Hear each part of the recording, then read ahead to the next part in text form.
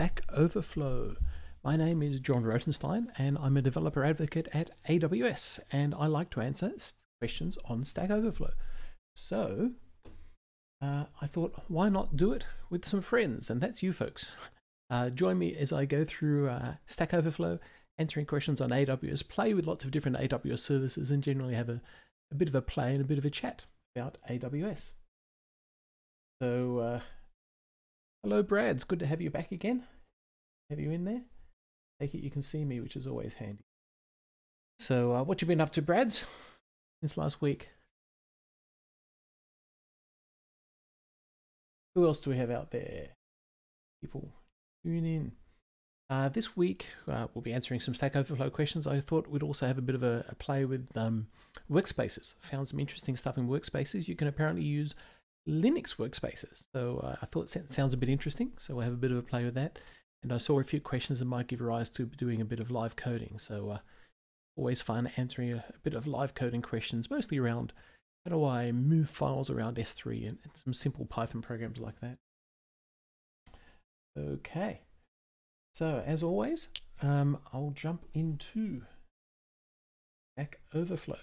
So uh, always happy to get more people answering questions on Stack Overflow, and I'll uh, give a shout out to some of the people who are doing that uh, throughout the show as well. So for those who just joined in, hi, my name's John, and I'm going to answer some Stack Overflow questions and hopefully learn stuff about AWS. Um, I found that answering questions is the best way to learn something because somebody says, How do I do this? And I go, Oh, that should be obvious. I try it myself and it is not obvious. So uh, I'll start by having a look at some recent questions that came up, but otherwise, uh, hey, thanks Rex Roof. Yeah, I used to go around to people and saying, I'm thinking of doing this weird stream. Instead of live coding, it's going to be live answering. And they all go, yeah, give it a try. Um, I have also gone through questions earlier this morning and tagged, uh, bookmarked some of the questions that are interesting. So uh, if I don't find any good ones here, um, I'll go back and do those ones. Now, as with everybody, uh, you can't know everything about AWS, so I always look at the uh, headings on these questions. For example, I'm not a Terraform person, so I can't answer Terraform questions. Um, this is an interesting one. In Node pipeline and in a node that I know nothing about, let's have a look. Assume STS, assume role did not exit successfully. So it looks like they're calling assume role on a role. So um, for those of you not familiar, uh, AWS has IAM roles, and these roles can give you permission to do things like maybe start and stop instances or delete things that a normal person wouldn't be able to do. And you can assume a role to get temporary access to those extra permissions. And you do that using this assume role command that is part of STS, the um, security token service. And uh, one thing that's always worth knowing about the security token service is that there's about four or five commands that it supports, and that's all it does. And the, what we're dealing with here is this thing called assume role. And assume role, uh, you use your normal credentials to say, I want to take on an IAM role. It then gives it back to you with new set of credentials, and they work for a limited amount of time. And it's one hour. By default, one hour. But the maximum is 12 hours. So uh, the, the permissions work for 12 hours, after which you've got to reassume the role. And when you use an EC2 instance and you assign a role to an EC2 instance, let's give that a go, um, it's the same thing. So if I hop into an EC2 instance, if I have permission to do so, come on. Excellent. Um, so if I'm here in an EC2 instance and I want to say something like, hey, S3, list me my buckets, and it's come out here and uh, list me my buckets, it did that with a role that was assigned to the EC2 instance. The, A the EC2 service assumed the role on my behalf, gave credentials down to the instance, and then I could make the call. So that's what uh, assume role always does. Uh, greetings for anyone who's joined in recently. My name is John. I'm going through answering Stack Overflow questions, but also using it as an excuse to talk about lots of things to do with AWS. So we're currently talking about the security token service. We all know this assume role. Assume role with SAML and uh, the web identity are great for um, logging in, but using an external identity source. So with um, assume role with web identity, you can use things like Facebook or Google. And so you, you authenticate through those services and then get uh, uh, a role back to use with AWS. But there's a few lesser ones that people don't know about. Um, sometimes you try an AWS command and it comes back and says you're not authorized. And rather than telling you why you're not authorized, that in doing so, it might give you some clue as to the security setup. So um, I might say, um, your IP address is blocked. And it came back and said your IP address is blocked, that's giving away some security information. So sometimes you'll see an encoded security message that comes back. And to decrypt it, you have to use this decode authorization message. And there's a, an AWS uh, CLI command you can use. Is there an example here? AWS CLI decode then authorization message and it looks a bit like this. So you say AWS uh, STS decode authentication message, and then you give it the encrypted message, and it comes back and decodes it and tells you why you might have failed. So that's a handy one there. Um, there's also get session token. Get session token is used to create a temporary session on your own credentials. Why might you do it? Um, this is one way of passing an MFA token. So if you have an MFA, multi-factor authentication code against your account, you can use get session token to uh, provide an MFA code and then it uh, gets running for a little bit. Argentina Contre, great to have you. Yep, feel free to send questions across. Can't guarantee I can answer them, but uh, you're always welcome to. Um, so anyway, lots of things you can do with assume role. So it looks like what they're doing is they're saying assume a deployment role. That's a great example. So they're trying to say, hey, um, permissions to deploy my code is in a certain role. You give it a name and command did not execute successfully and it can't find it. So now it's a, a node error. So I can't go further than that, but um, too bad. Is there another way of renewing keys on an instance rather than attaching a role to the EC2 instance? So uh, let's have a look.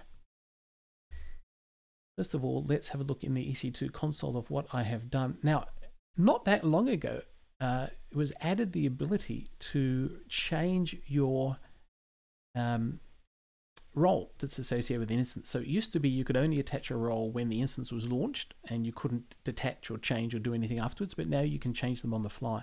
So here we can see I've got what I call my ops instance and I have an ops role associated with it. So if I log into this instance uh, how do I know where I get my permissions? I can say AWS IAM, I think get user will return. Uh, no, I'm not using user. I have to say curl HTTP. Wide a window, please. Uh, 169.254.169.254 latest. This is the instance metadata API. And I can say I would like some meta data security credentials.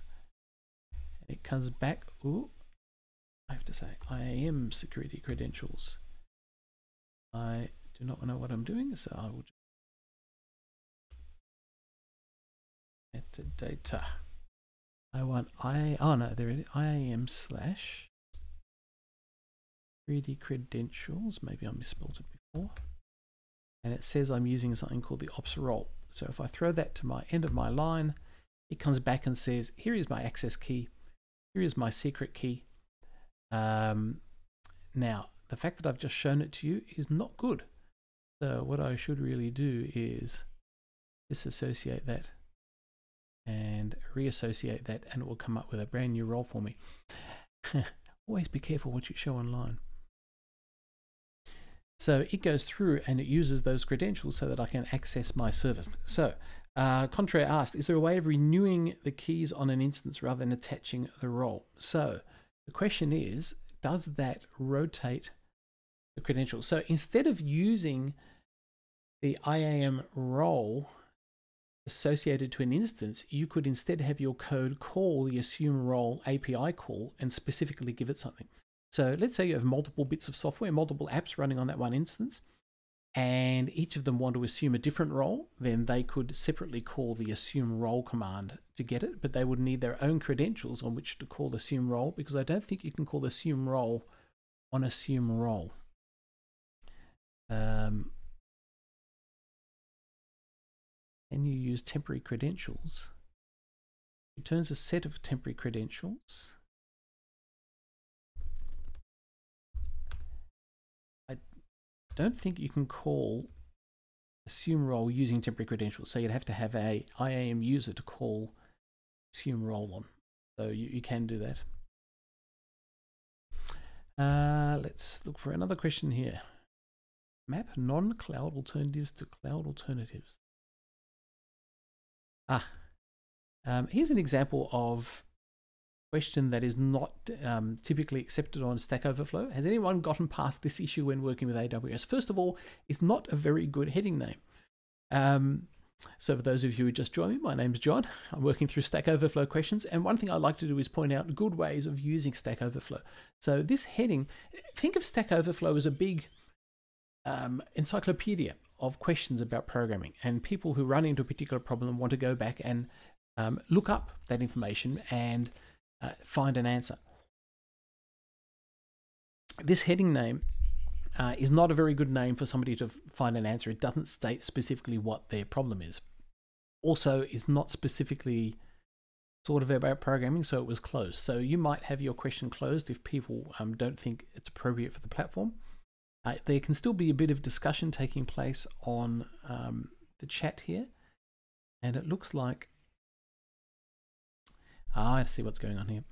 Uh, this particular person is saying they're getting a security token error message, which gives rise to two topics that we're talking about.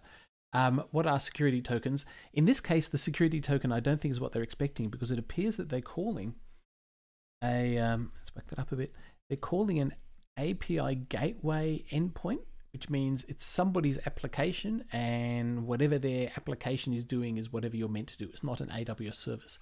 But it does give rise to the concept of this thing called a security token. So let's have a bit of a play here. Um, I have, when you assume an IAM role, a very interesting thing happens, and that's to do with the security token. So what I might do is go in here and create a new role. And say it belongs to my particular account and the name stack token just for the sake of it. So I have a new role called stack token. And let's see if I can assume it. Uh, AWS STS assume role. Say, oh, it wants Let's go to the doc. CLI assume role.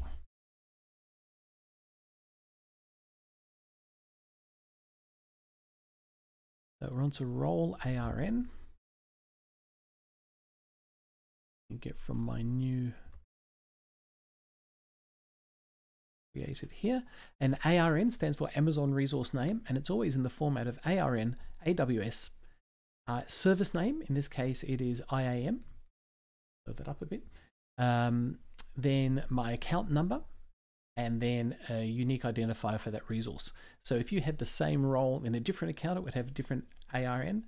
If you uh, were using a resource in a different service, it would be different here. And here's a bit of information for you. This ARN AWS up the front.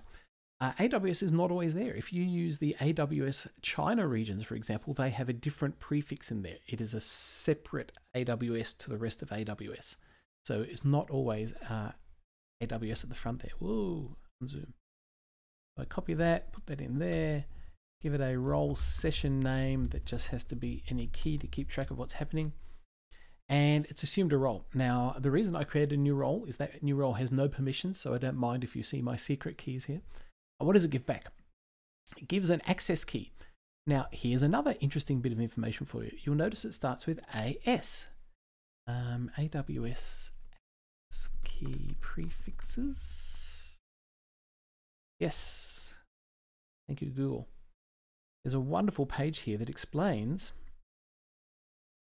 um, all these codes that you'll see. So normally you get back something like this, an AKIA, which is your own personal access key. If you assume a role, it'll come back with ASIA, which is a temporary key. Uh, you might also see things which uses roles um, like this one, AROA, and that comes back if you're using a, a role identity to perform some operations. So the first thing that's noticeable is that it's coming back with a temporary access key. It's coming back with a secret key that you should never show anyone. I'm showing you this one because it has no permissions and I will destroy it after the show. But the other interesting thing is it comes back with this session token. And whenever you create temporary credentials, it gives you this session token and you must provide it back when you make an API call. So you give it the access key, secret key, and the session token. Now, I haven't found any official documentation that says why the session token exists. My personal theory is that it contains some encrypted, encrypted permission information that tells the service what you are allowed to do. And rather than storing it, um, it makes you store it and pass it back each time, and it's encrypted so you can verify that it's, it's running correctly. Uh, that's a huge token. Yeah, it's very big. You obviously don't type it in yourself. If you want to steal my credentials, go ahead. Um, the other thing you'll notice is it's got an expiration time. And if I say, what is the time on this particular machine? Um, now this is in UTC. So um, it is currently 120 UTC, and these credentials are expiring at around about 220. So you can see that it issued these temporary credentials for one hour, the default period. Uh, I could have asked for a longer time to go there. And um, it comes back and says the ARN of the role. Oh, here it is. Here's an AROA. I'm, I, if I use those credentials, I'm using an AROA identifier. So uh, lots of interesting things to see there. So if you want to make an API call with those credentials, you give it the access key, secret key, and the session token. How do we get onto this? Must have been a question about this. Uh, yes, so the security token they mentioned in this particular question uh, unfortunately has nothing to do with STS. Uh, it's to do with the program that they were running. I will delete that role. I don't want people taking advantage of it. Thank you. Uh, ooh, instance key pair management. We have a Windows EC2 instance created. We need we have a need to remote desktop into the instance occasionally to execute a PowerShell script that updates Microsoft's Power BI gateway. Okay, so EC2 instance, they want to remote desktop into it. This is implemented in a sandbox environment. We're looking at the steps actions to take to implement it in a production environment from research. I found that we need to have a different key pair for each user. I think this makes sense, but the logistics of implementing this is beyond my knowledge. I have some basic questions to help steer me. How do I generate a key pair for each user? Where are they maintained? How do I assign them? Do I create them? How do I rotate them? Um, Etc. Now, um, I jumped on this when I first saw it a couple of hours ago to ask them to please clarify what they mean by what they're asking for. So let's try and think about what's going on here. They want to connect to a Windows instance. They're using key pairs. So I think they're getting a little confused here. So when an EC2 instance launches for the first time, rather than giving a default Windows password like um, I love EC2 and having everyone try and steal each other's Windows instances, um, as you probably know, when you create a Windows instance, uh, it creates a random administrator key uh, password. That password gets encrypted using the key pair you nominate, and then you've got to come in here and say, oh, here's my key pair. I want to decrypt the password, and then it will give you the Windows password. Once you log in an instance, you are welcome to change the admin password, and then only you know, or hook it up to Active Directory, it's fine. But this is the, the first way to, to log in. So um, we don't recommend that you use that password or those key pairs for future logins. So without knowing more, uh, Jarmod, who's a frequent answer, is saying, hey, you can use the run command to run things on the EC2 instance. So that, that's a good alternative to actually having to um, remote desktop in. Let's give some background here. So before I gave a comment, a comment is when you get to say, please clarify, what are you going on about? An answer is when you think this will answer the question. Um,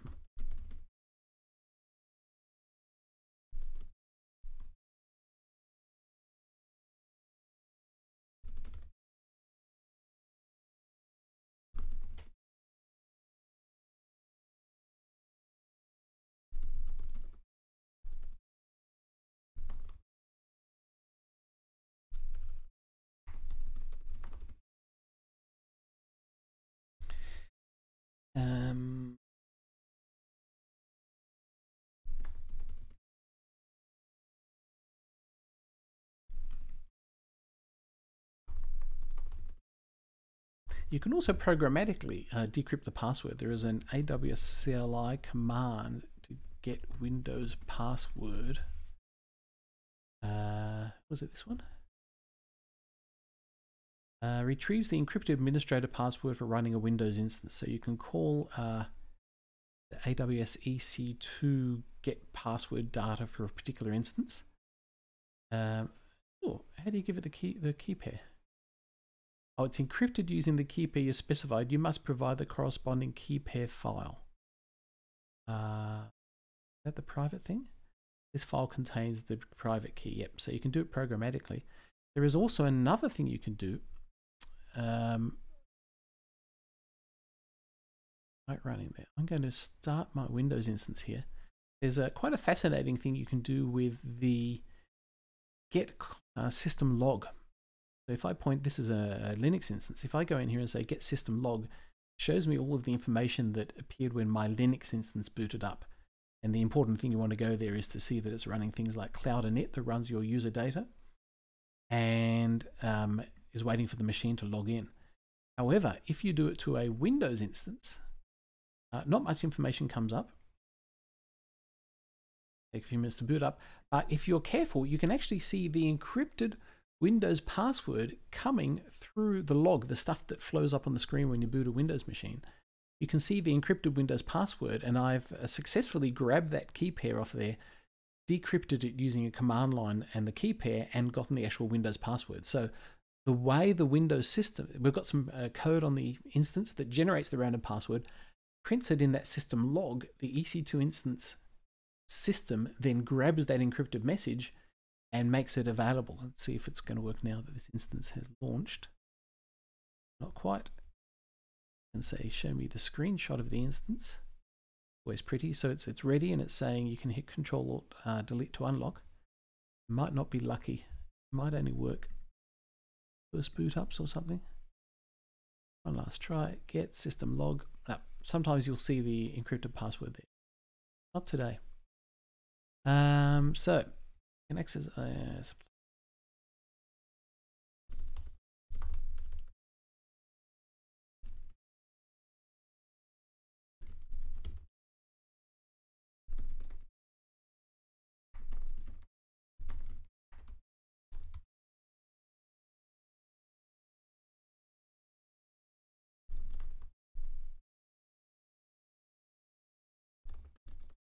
So what should this person do? It looks like they occasionally have to log in and update this thing.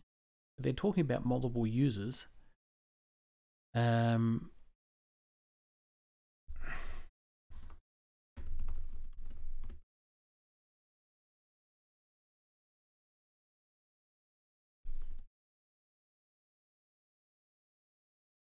do they need to update to run a script?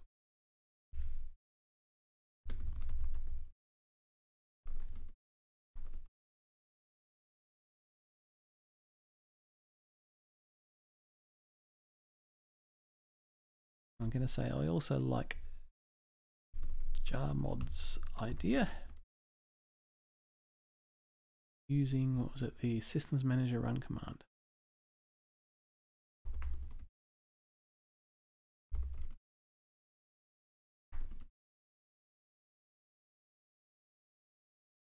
Fantastic. First question answered for today.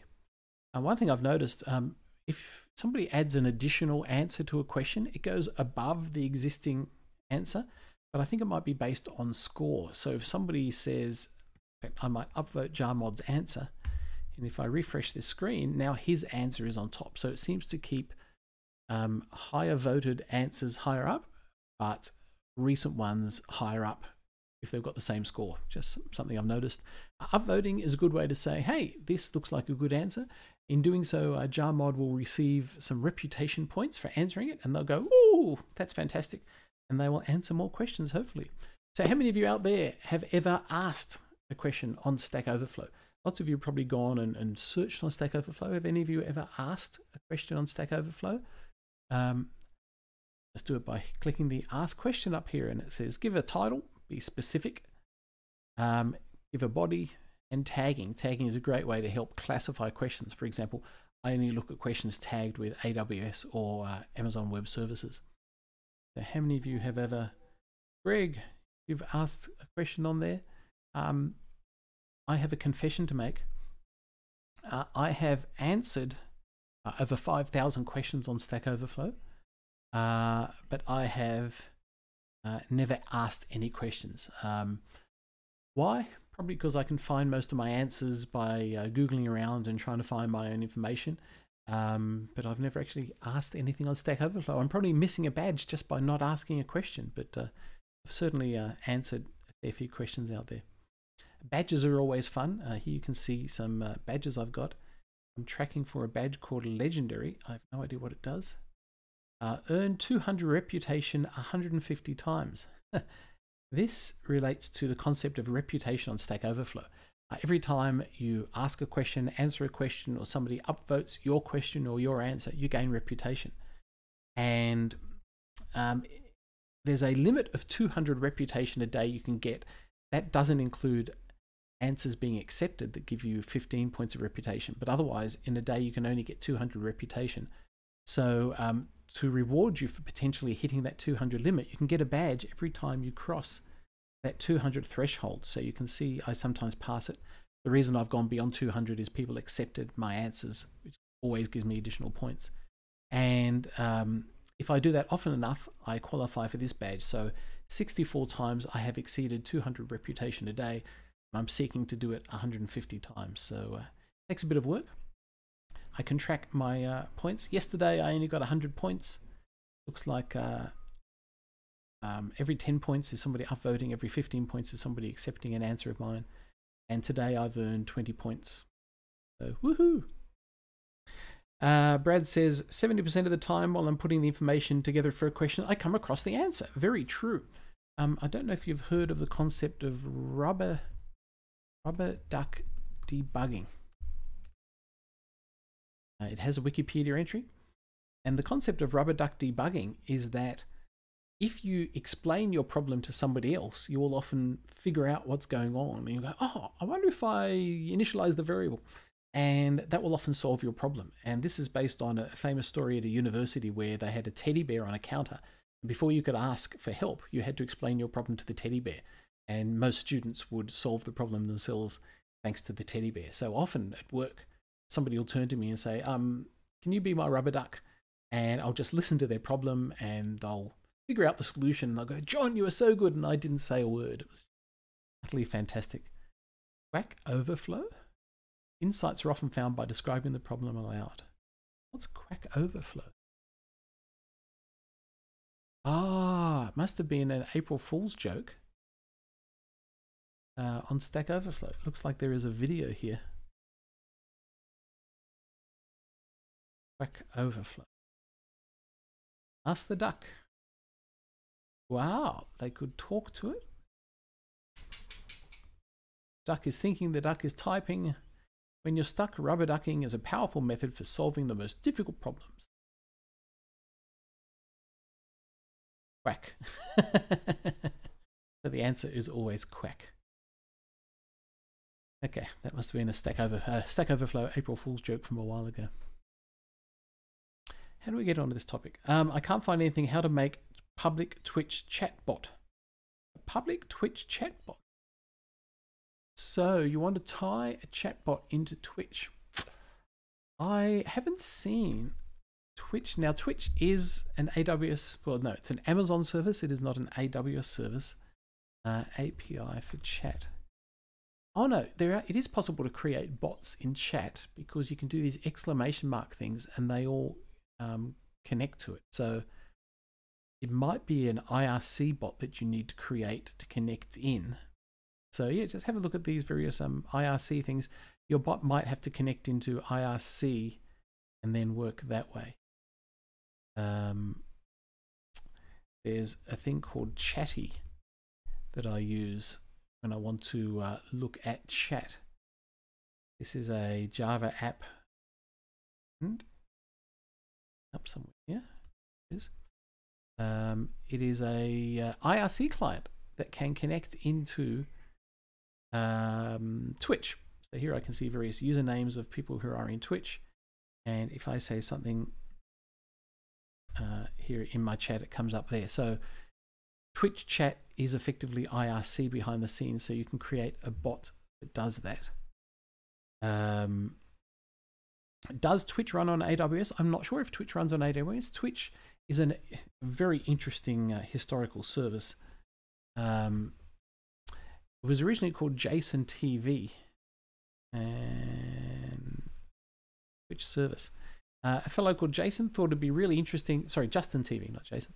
Um, a fellow thought it'd be very interesting to stick a camera on his head and walk around and let people view his life, and it, it took off with some degree of success. The, I don't know if his girlfriends and all that liked it, but they noticed that whenever he sat down to play video games, the number of people watching increased, and that's how they got the idea to do Twitch. Um, that people like watching other people play video games, and that's where it all took off. So uh, Twitch predates the uh, Amazon acquisition.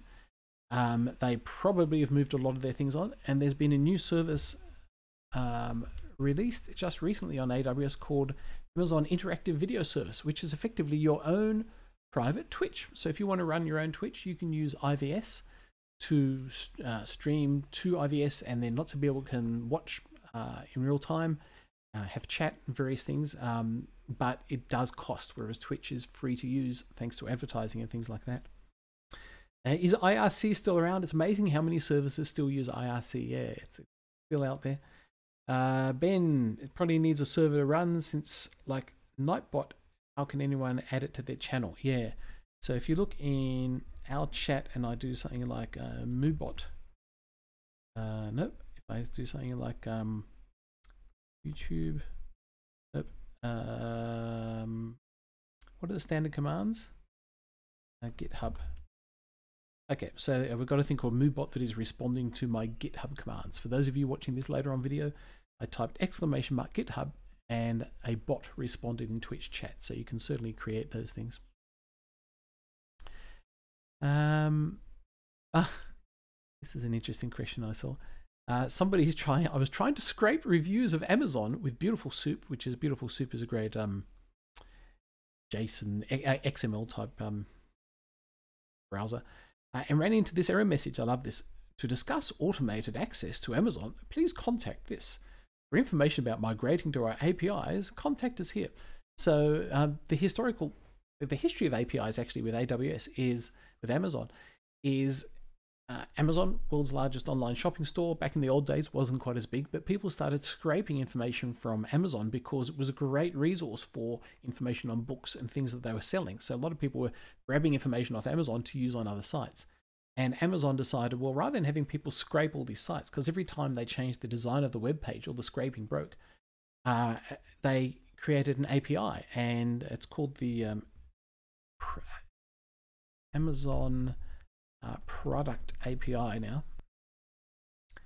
And this is how you can connect into um, Amazon and retrieve, you know, what items match these keywords and can I add them to my shopping cart and things like that. So Amazon.com has an API to provide a whole lot of those services.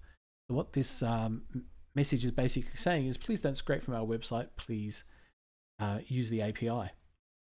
Uh, yeah, it's open. You've got to create an account and you can grab, like, yeah, not all information is there. I don't know if reviews can be scraped, but certainly product information is out there. And Amazon is happy for you to use Amazon product information on your website to um, lead to sales on Amazon. It's a great thing to do. And the reverse of this is I found a lot of people asking questions on um, Stack Overflow saying, how can I change my IP address? And if we say, why do you want to change your IP address every five minutes, whatever, they say, oh, I'm trying to scrape information off third party website and they're blocking me after a certain amount of time. So I need to change my IP address or run from five different IP addresses. So I normally put a comment there saying that, um, sorry, we don't encourage people to break the terms and conditions of other websites. So please check to see if there's an actual API you can use. Thank you very much.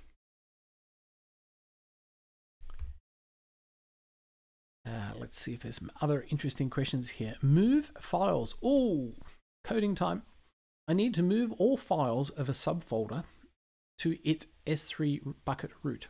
Right now I'm using the AWS CLI command of AWS S3 move. It looks like they're trying to move a folder to the root of a bucket. my main issue is the subfolder changes every day after a TeamCity run. It's is it is any way to know if there's a new folder inside test folder 2 and copy its content to the S3 bucket root. I want to automate it so every day things are there. So um, let's try some live coding. So it looks like what they want to do is they want to go to a bucket and given a certain prefix, any objects in S3 under that prefix, they want to move to the root. That sound like something we can, uh, can try ourselves? Let's uh, try a bit of live coding here. So, ramp up. New file. I have a standard where I, whenever I write some code for Stack Overflow, I just save it in a stack.py file. Uh, import, uh, I'm, a, I'm a Python person, so excuse me if I'm uh, doing this. So what do we want to do? We want to get all files in a particular folder and move it.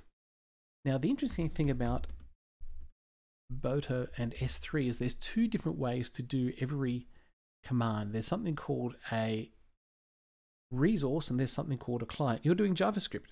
Um, you can try it in JavaScript, uh, Edging again, um, and I'll try it in Python. And so to be nice and confusing, there's two ways to do things in, in Boto 3, which is the Python SDK for AWS.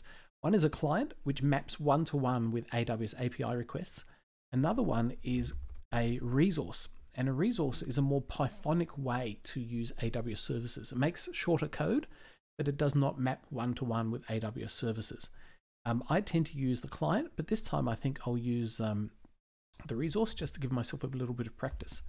So I'll say that S3 resource, which lets me play with S3. Um, and then I can say, uh, I want to get a list of all objects in the bucket, which under the resource I can do something like this. I can come in and say, for a given bucket, get me all objects. So I can say uh, bucket equals S3 resource bucket, and let's create a bucket. Uh, AWS S3 make bucket 3 stack move. And the bucket name is... Ah, I've got to give it a region. Wonder what region it created it in. I have shortcuts to jump to all my consoles. It's really neat. I guess the person wants to track first whether a new folder is available and then move the content. I'm going to ignore the fact there's folders because um, it doesn't really matter. Stack Move is created in Sydney. Fantastic. So I'm going to create my bucket called stack move. Then I can say for object in bucket objects. Now rather than saying all, I can use the syntax to say give me all objects in the bucket. I can actually give it a filter. And the filter can specify a prefix, I think, somehow. Filter creates an iterable of all bucket resources. I want this on objects. It is this thing here. I'm going to say give me a uh, filter where prefix equals uh, foo1 foo2. So let's give it some files. Uh, copy my X file to S3 stack move foo1 foo2 one.txt. So the great thing about AWS is you can, uh, S3, you can copy files to non-existent directories and they sort of exist. So I just copied something to the foo1 foo2 directory. If I go to S3, go into my stack move, and it looks like foo1 is created, it looks like foo2 is created, and I've got my object in there, but the directories don't really exist because the truth is this object is actually called foo1 foo2 one.txt. Always gets people confused in the Stack Overflow, but you'll be right. So I'm now saying get me every object that is within that prefix. And uh, for the moment, let's just print the object key. Can't remember if it's capital or not. Let's give that a run and try. Python 3 stack.py. Excellent. So it came back and it has said, I have found this particular one file, which is in the root, just to prove that it will work. Um, if I put something in the root, back move, root file, tell it to copy. So I didn't tell it to do S3. X does not exist. Um,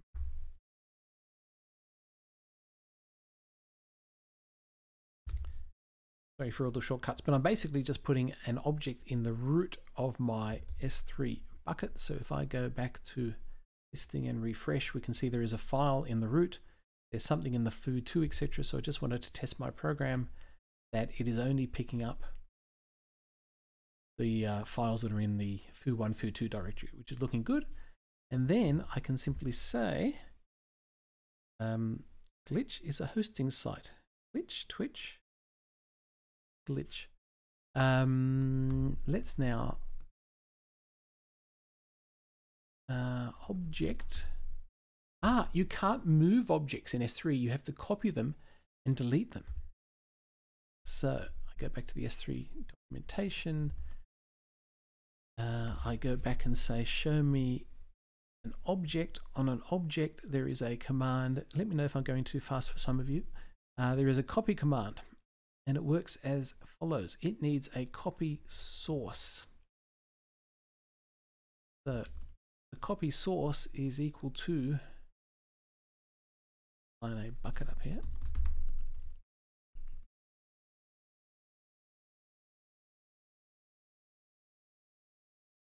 Magic variables up the top and the source is going to be object key then says you've got to run this command. Uh, oh, you run it on the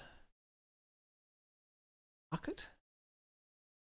Bucket X, okay, so you've got a bucket, you've got an object. The object is the object you want to copy to, and then you say object copy source. Oh, that's weird. That's sort of backwards of the doing it the, the uh, client method. So you create a new object, and then you say copy from that object. That's that's interesting. Okay, let's do that.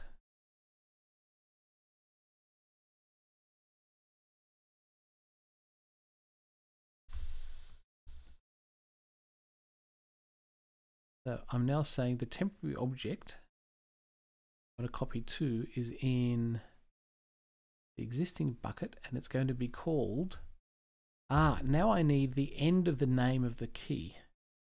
So I need the name of the object, everything after the last slash. And in Python, I think I can do that with an rfind. So, uh, quick cheat. If I've got a string which is equal to foo1, foo2 something, misspelt, rfind it'll return that. So I can simply say, give me S, I'll find the last, the right hand slash to the end of it.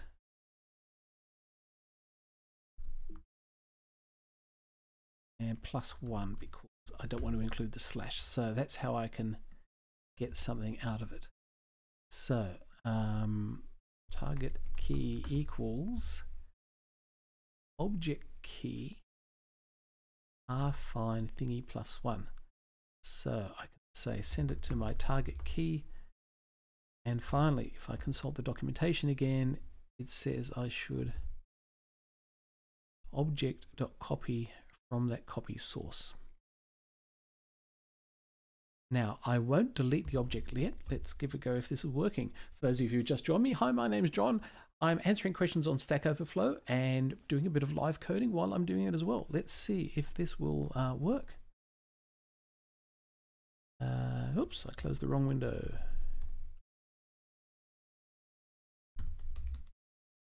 Python 3 stack.py, what do you think? Will it work? It says it found that one object. I didn't get any errors. Let's go to the S3 console and I'm going to refresh this screen and we want to see um, that text file appear here when I refresh and it worked. Well, that was pretty good. So theoretically, I can now add a command here to say uh, object. Now, it's confusing with all these words, so I'm going to say target. Whereas this is the original object, object dot delete, and that should be enough. So let's load a few test files. To text. Let's put something in another subdirectory. Uh, oops, I put it in the wrong directory there. Let's go in foo1, foo2, foo text, and let's create another one and put it in foo3. So it's any subdirectory. If one text was already available, will it overwrite it? Yes. The copy command and uploading will always overwrite an object. In fact, there was a Stack Overflow question last week where somebody was saying, can I be notified or can it please error out? I don't want it to replace an object. And the answer is no. You've got to check if it exists first. Uh, but if you say copy it or create it, it will always get created. Thanks for that question, Wordsmith. Um, so let's clear out the root directory here. Try our great test. I have in foo1, I have foo2, which has two files, and in foo3, I have a third file. So when I run this, I want those three objects to disappear and move there. You might hear me uh, alternatively saying file and object. Officially, an object in S3 is an object, is not a file. You upload a file and it becomes an object.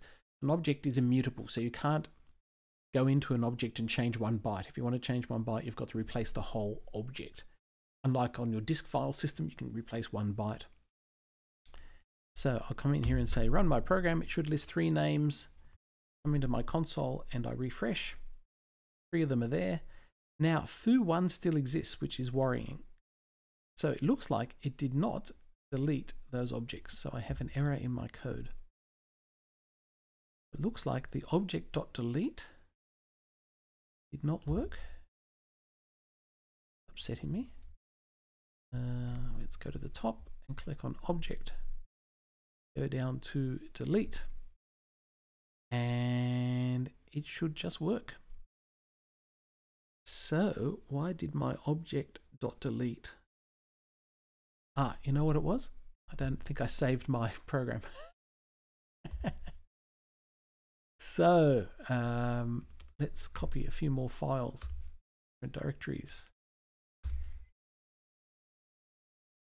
Um, give it a go again. It's always good to save your code before running it. Back to the root, get rid of these objects. This time for sure. So I expect these files, one and two and three, to be moved to the root. I also expect the foo directory to disappear because I didn't create the foo directory. It was only there as a partial path for an object. So foo should foo1 should disappear. Give it a run. Three files copied and deleted. Come back into the console. And we now see they're in the root and the food one directory has disappeared because it never existed. It was only there because a file had that prefix in its name, which is always very confusing in S3. So after having such fun, I can post this code. Is there any cleanup that I want to do here? Um,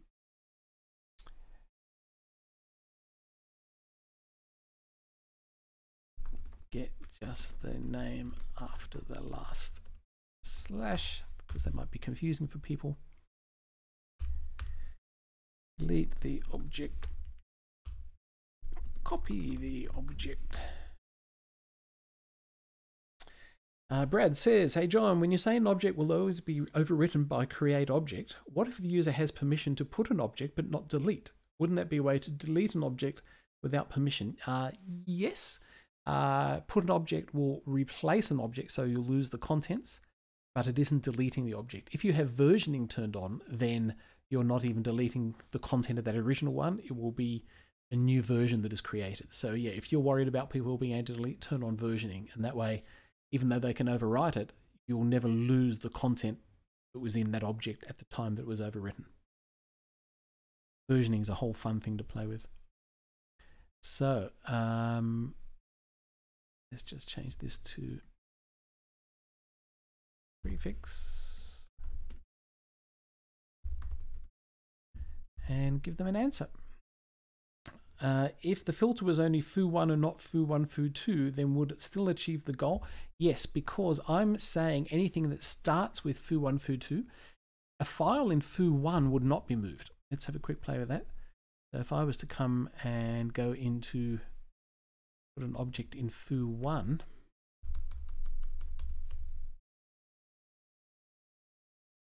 so because this is in foo1 and my program is saying look in foo1, foo2, then when I run it, it should not move that file.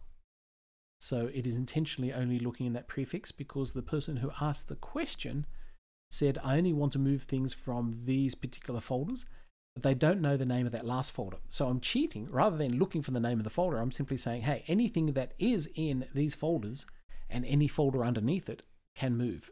And when I say any folder underneath it, I'm not actually checking folders. I'm just saying anything that has that beginning bit. I don't care what it has after that. S3 works in mysterious ways. Let's give an answer. Well, when you put some code in um, Stack Overflow, you can fence it, which is the name given to these three little dots, and you can tell it some uh, formatting. So this tells it it is Python. So when it draws it in uh, Stack Overflow, it does some nice formatting in there. Uh, there is also the ability to put in some code with, never done it, uh, this thing. Nope, formats an indent. Uh, this one. Wow, I never knew there was code snippets in here you can write some code. I could paste my Python in here, for example. I could run it, which won't do anything because it's in the wrong environment. But then I can say, wow, save and insert into the post. So you can see two different formats here. This one that I just posted in the float says run code snippet, puts it in a pretty box. And this one down here just gives the raw text. If I was writing code that you could run straight in the browser and it didn't use AWS, etc., I'd probably do that. But um, I do not wish to. And you can see it's using this snippet command to do so. I will not do so. That will move any objects in given prefix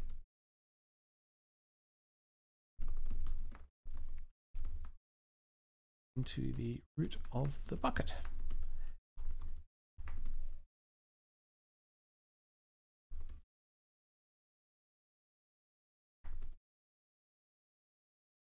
There's no copy command in S3. There, uh, sorry, no move command in S3. There's only copy and delete. They're fantastic. I always get a buzz out of it when I write a small bit of code like this, get it working and post it up there and occasionally I see my code elsewhere on the internet when other people are doing samples. So I wrote a little Stopinator program one time and somebody put it in GitHub and then I see it reflected all over the internet. So it gives me a warm feeling when I do that. Time for a bit of a diversion. I've collected a few things during the week to entertain you with. Uh, this is a story I found on the internet. Amazon drivers are hanging phones in trees to get more deliveries. Can you figure out why people might want to hang phones in trees to get more deliveries? Well, it turns out there's a lot of people doing home deliveries these days because they're all stuck at home. And there are contract drivers for Amazon who get paid based on how many things they deliver, you know, much like Uber Eats, etc. And the story, uh, it's called Amazon Flex. That's the service where um, people can sign up and be um, drivers for Amazon. And they get business based on how far they are from the thing to be picked up. So if they're close to where people let's say people want things from Whole Foods, if they're close to Whole Foods, they'll get the work more often. But to get those jobs, they're apparently hanging phones in the tree outside a Whole Foods store so that they get the work and they can pick up the job on a second phone that's tied to the same Amazon account or something. So uh, that's how people are doing it in Chicago suburbs or something. And some people believe a group might be behind the tree phone scheme. They may be charging drivers to secure more routes, routes, which would violate Amazon's policies. So um, there you are. Um, uh, phones do grow on trees. Uh, if you want to be the uh, you want to be a driver for Amazon, um, uh, I, I live in Sydney, Australia, and they now have this in Australia as well, I understand. So the idea is you sign on for a certain amount of time. You reserve a block of time and say, I'm willing to work for this time period. They then assign you deliveries and you get paid based on um, the number of deliveries you make and the quality of your work. So they make sure that you do actually uh, deliver things. We're actively recruiting in San Francisco, Seattle, 50 US cities. Let's see. Amazon Flex in Sydney. Ah, Amazon flex.amazon.com.au. There you are. If you are in Australia, you can sign up to be an Amazon Flex driver. And fantastic. I've been getting so many things delivered during this COVID time period. What's the what's the latest thing you've bought off Amazon? Snap quiz. Um, when I joined Amazon, um, we all uh, sat in an orientation session and they went around, asked you to introduce yourselves, and they asked, What's the last thing you ordered off Amazon? And I was in Australia before Amazon was in Australia, Amazon.com, and I used to just order books and things from the US, but I was amazed by the um, the variety of things that people would order. Uh, the last thing you bought, a dual monitor mount. Yeah, they're great to have two monitors up. One thing I've discovered with the dual monitors is it's best to have one monitor directly in front of you and a second monitor off to the side, maybe in vertical landscape, vertical, vertical, vertical mode so you can see things. But I hate having two monitors where the gap between the monitors is directly in front of me. Um, so I've learned to always have one monitor directly in front of me. But uh, those mounts are great. Vertical landscape. Yeah, it's, you know, mountains, things. What else has somebody bought out there? What have you last bought off Amazon? Um, yeah, horizontal. Ver the, the vertical one's great for reading web pages, and the horizontal one's great for doing um, word processing type, type work out there. What folks, what have you bought off Amazon lately, or your favorite shopping service? Um, related story: A guy in the UK had a lot of cars driving past his house, so he put 100% prepaid Android phones in a trolley outside his house to make Google Maps think there was a traffic jam and therefore route drivers away from his street. That's an interesting way of doing it. There is, of course, the um, way. What's the? Uh, there's an Israeli navigation program that's bought by Google. Um, it's not Waymo, Waze. The uh, Waze uh, GPS navigation system uh, is crowdsourced, so you can report uh, traffic accidents and things like that. And I think Google Maps now has that too. And I heard stories of people in small communities who didn't want lots of cars coming down their street. Uh, several of them would get together and, and each report that there's a something blocking the road, and the navigation system would route people away from those particular streets. So uh, it's pretty neat. Here's a similar question: Is copying S3 bucket from one account to another account secure in transit? Oh, that's interesting. I'm looking to copy the contents of one S3 bucket to a different account. I found the following tutorial and tested it with non-confidential files. It's all about copying objects across accounts. Nice. I'm wondering if any data that is transferred between the accounts using this method is secure, as in encrypted in transit. Is it using AWS to do a direct copy, or is it using the computer running the sync as the middleman? So does it download and upload? I do have uh, server-side encryption enabled on the bucket. I did see recommendation about KMS was not clear. So somebody's saying that they think it uses HTTPS. If you're using the CLI, it will use the port. Um, none of this actually answered the um, the transfer question. So um, if you are copying data between buckets and the buckets are in the same region, using Markdown to get bold,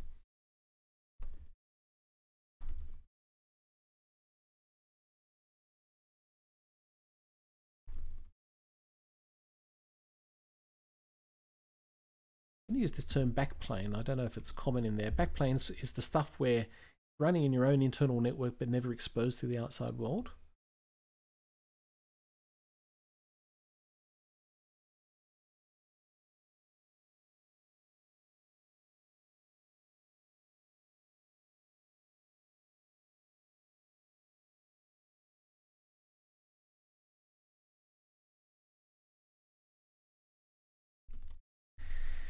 If you are copying between regions,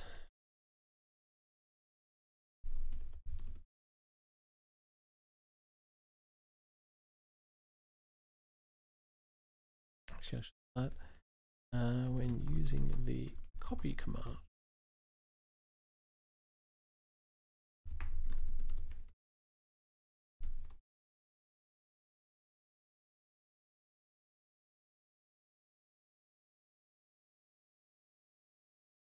Ah, he's using the CLI, so it's really the CP sync commands.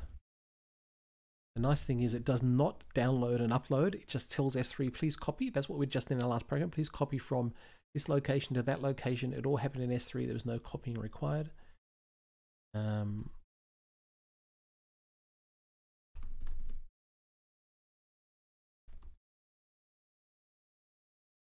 you're copying between buckets and the same reason if you're copying between regions, uh,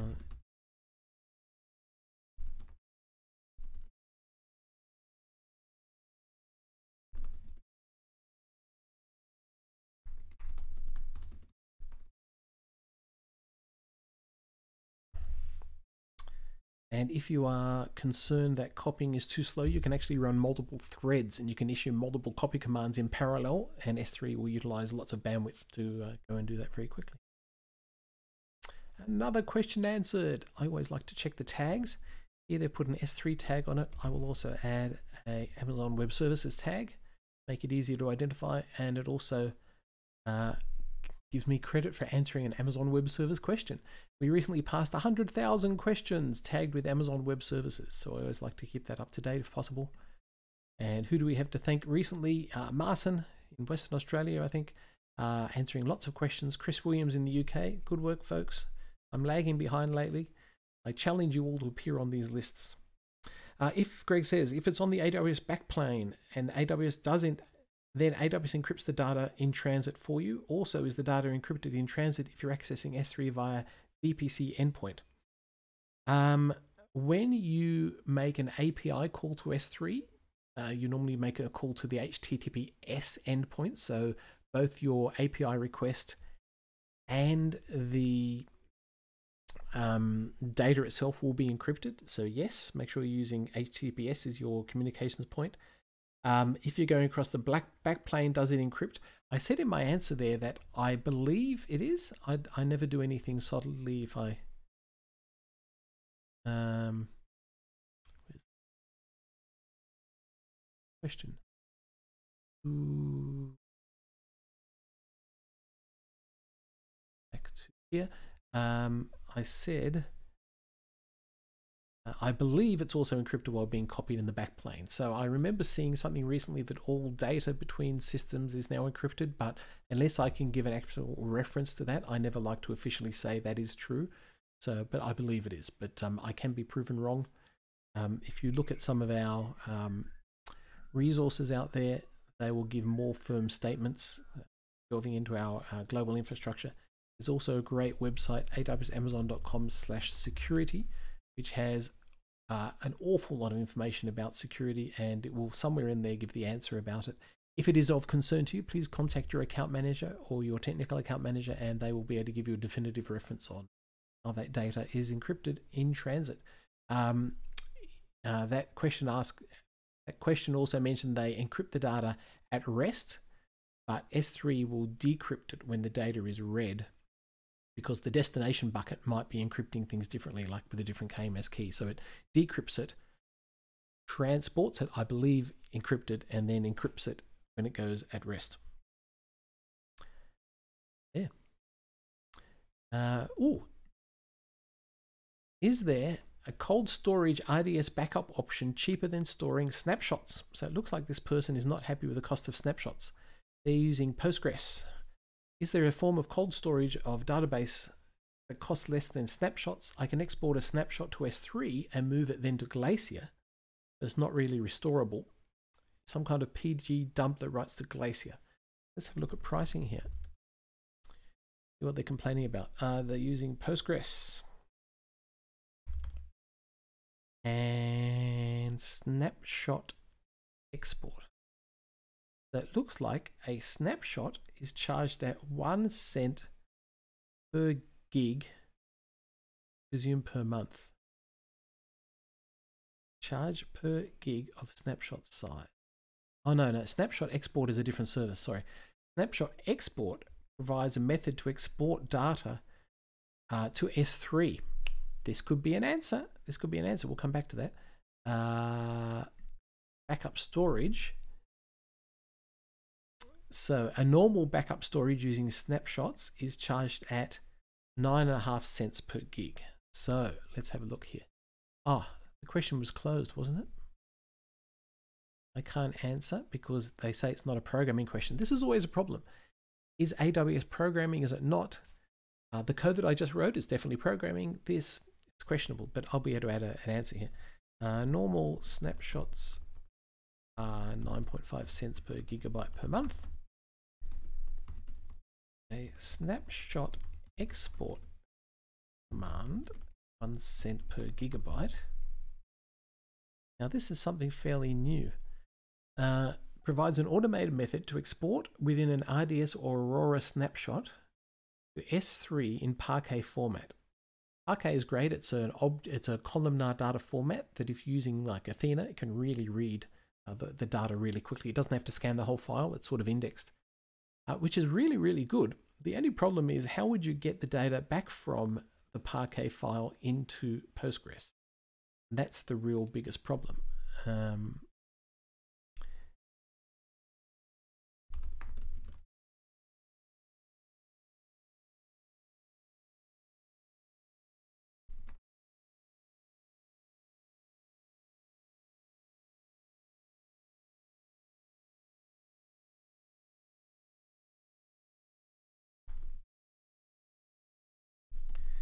I know that PostgreSQL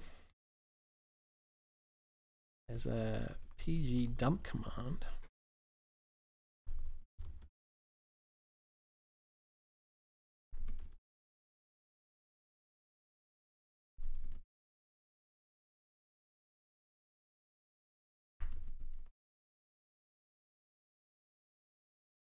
So the nice thing about the PostgreSQL pg dump command is it outputs pure SQL. So it says things like create table, insert row, uh, grant access and all that. And so not only is it an exported file, but you can simply run the pg dump file through a Postgres command line and it will recreate everything you've got. So I did that to copy data um, in a previous job between two Postgres databases. I said uh, pg dump on one machine and then I piped the output into a PSQL command on a second machine and it immediately imported the data into the second machine and it was all, it didn't even have to save it to a file. Running the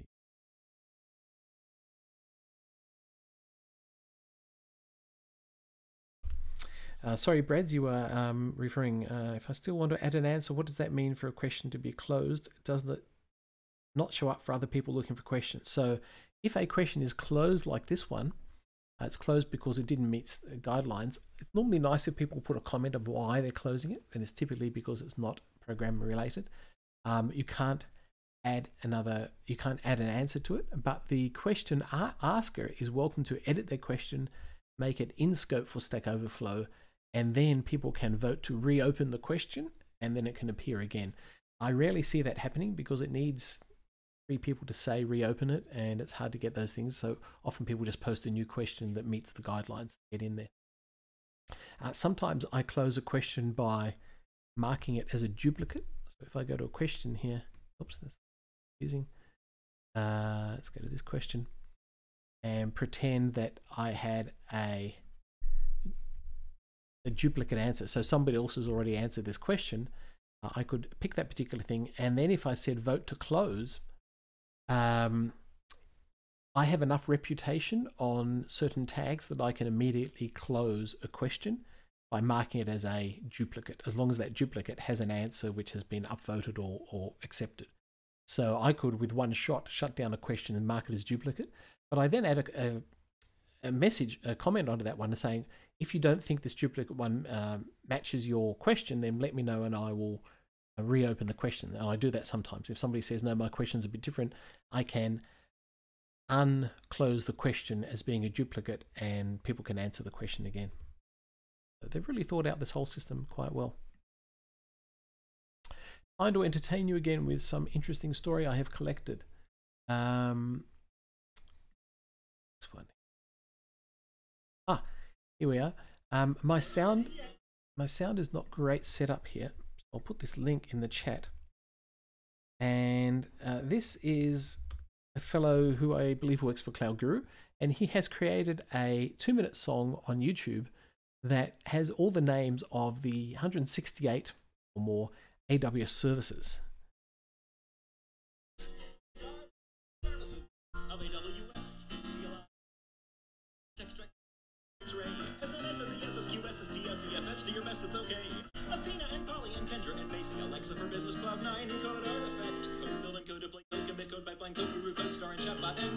So I invite you to uh, have a listen to that uh, video. It's quite fun. I didn't uh, get to hear all the names of services got in there, but hopefully uh, they're all existing, and you probably have to update it again next week with uh, more services.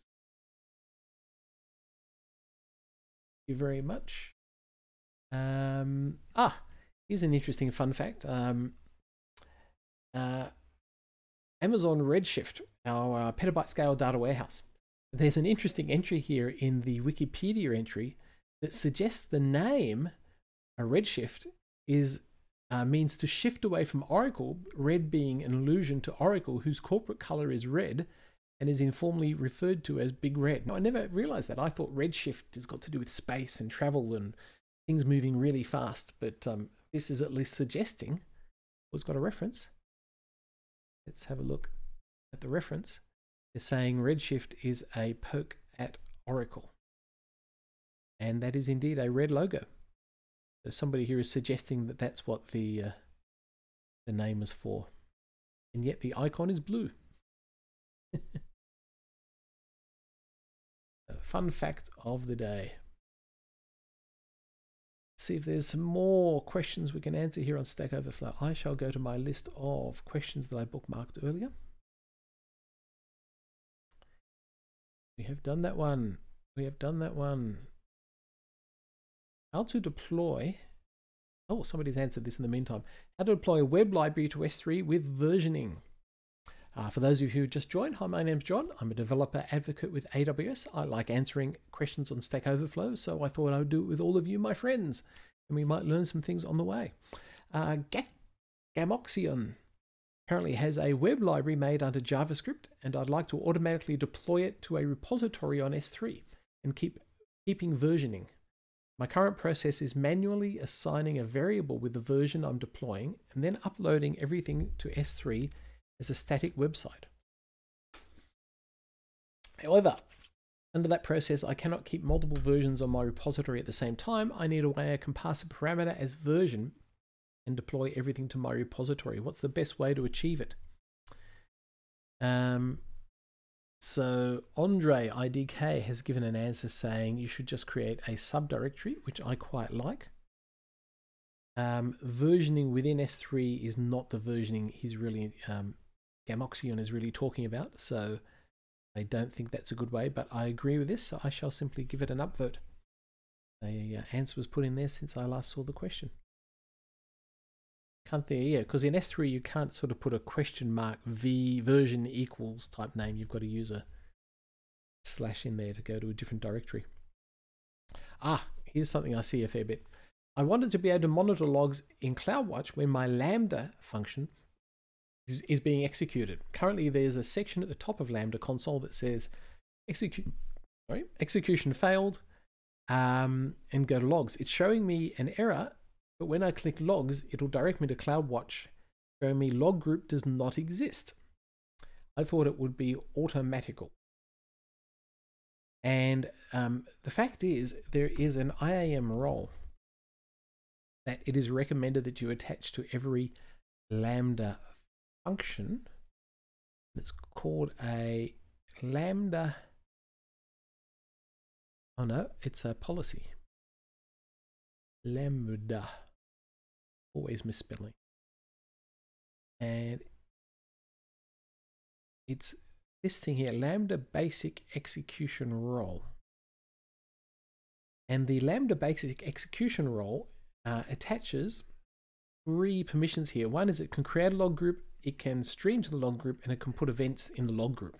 And that's what allows the Lambda function to write to CloudWatch. And you can even lock it down further and say which log group it's allowed to use. So this permission or these permissions should be attached to the Lambda function. And yet, let's have a look at the answers that are given here. Uh, the most common cause is you have not assigned an IAM role to your Lambda function. Didn't say what role should be assigned. Your log group should be automatically created. If you click on the arrows, it should work. Nope, that's true. Let's give it the truth. Um, it was Lambda function.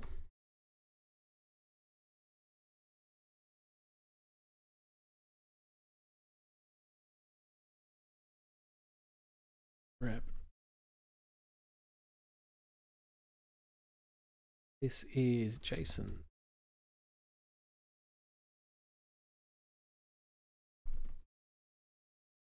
Create a log group, store events.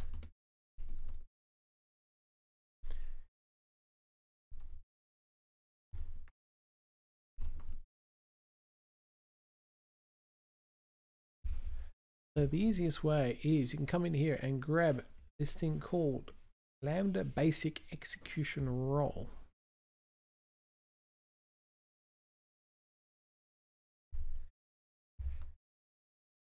Managed policy.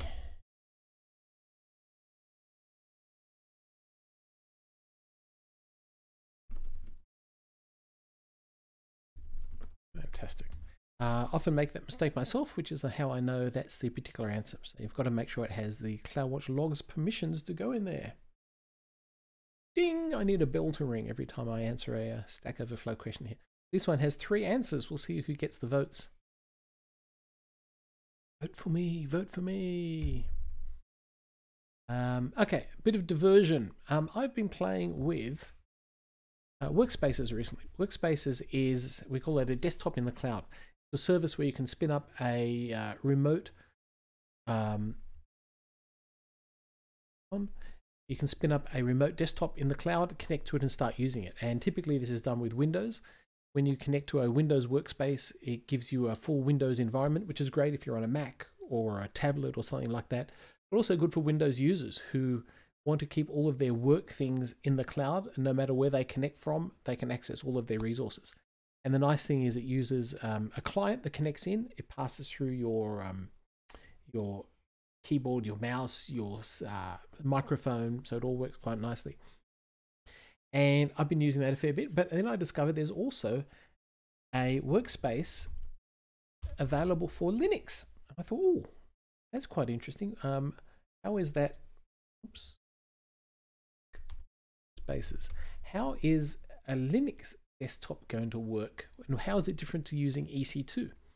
So uh, here is the pricing for Amazon Workspaces, and uh, you'll see here there's a number of different options. There's a Windows bundle where you can get uh, a Windows machine up and going, and you can also ask for um, you can ask for additional Microsoft Office products. So for an additional $15 a month, you get license for the uh, Microsoft products. But instead of going Windows, let's have a look at Linux. So we can spin up some Linux boxes here. Let's compare them to EC2. It looks like this one has one CPU and two gigs of memory. Let's compare that to EC2 instance. Um, we had one CPU and two gigs of memory. I don't know what that actually maps to. Maybe a T2 instance. Here we are. A T2 small has one CPU and two gigs of memory. And a T2 small has a price for Linux of around about T, T2 small, here we are, has a price of around about 2.3 cents an hour. So if we compare that to workspaces, uh, it's much more expensive. It's um, $21 a month or, ah, but it includes disk storage or 17 cents an hour. So it's a bit hard to compare the prices. But let's uh, let's spin one up. I created one earlier. This um, uh, Linux workspace, and the way you do it is you run a workspaces client, and workspaces clients are available in many different varieties. You've got uh, Windows, Mac, iPad, Android, Fire tablets, your web browser. So you that's the neat thing. You can access a remote Windows machine or Linux machine via your web browser. We should give that a go actually. Come back to that. So I will go in and use my workspace. Password here somewhere. And what's interesting is you don't SSH into a Linux workspace. They have installed a, a graphics user interface called Mate. I personally haven't heard of this before, but Mate is like GNOME. It's one of these graphical user interfaces that fits on top of Linux. And let's make it a bit bigger. Make it that big.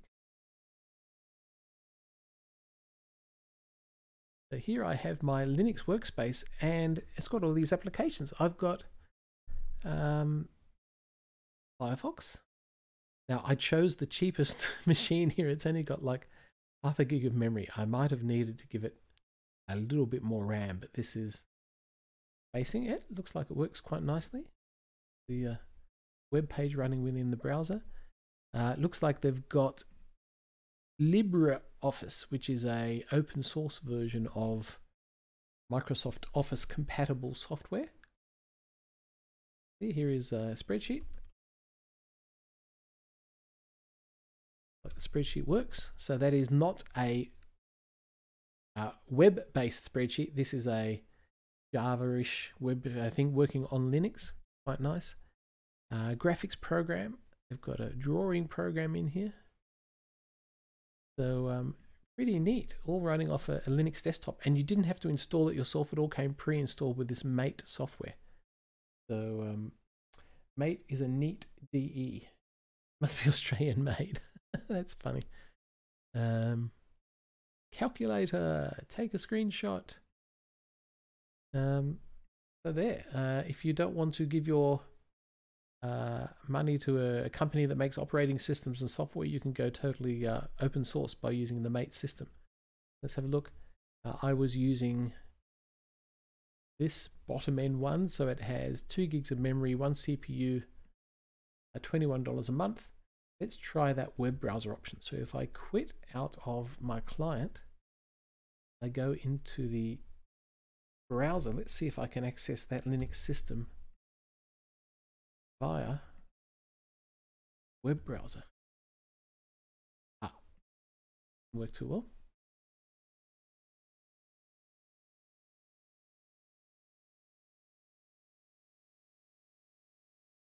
Web access, launch. Again, doesn't like me. Try another browser. Me, you don't want to see me. Last chance. Actually, I'll try it on Safari.